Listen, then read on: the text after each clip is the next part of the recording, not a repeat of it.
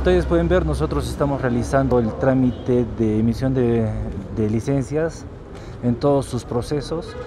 para atención a nuestros hermanos conductores. Este trámite, este, pese, a que tenemos una ampliación de plazo y para evitar las, las colas a, última hora, se ha dispuesto que se atiendan, se atiende este trámite con las consideraciones de salud del caso. Como ustedes pueden ver, las personas que están ingresando a la gerencia tienen, este, están manteniendo la distancia, social mínima, están, todos tienen doble mascarilla, al ingreso se les solicita el carnet de, vacunación, que tengan las dos dosis, uh, se, les, se, toma los datos médicos y también se les está, este,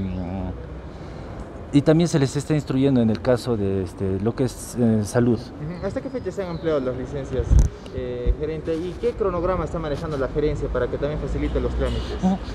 El cronograma lo tiene, este, está publicado en la página del Ministerio de Transportes, porque eh, ellos son los que, como autoridad este, competente, ellos son los que han puesto los plazos.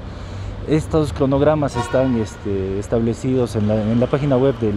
Ministerio de Transportes y también en, nuestro, en nuestra página web eh, estos días eh, que se está anunciando que van a suspender algunas gerencias su atención, ¿va a continuar la atención acá?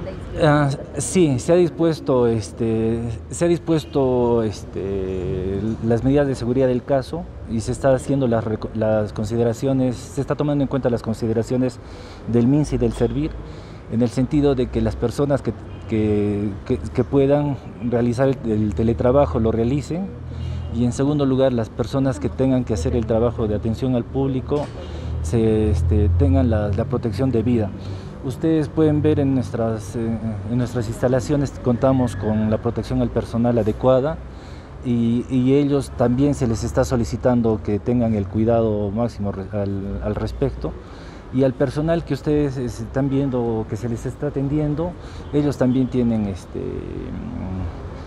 tienen que cumplir el protocolo aprobado, ¿no? Tenemos, en la institución tenemos, este, en la institución también tenemos, este, el trabajo de un prevencionista en salud, tenemos el trabajo de los enfermeros, etcétera, etcétera.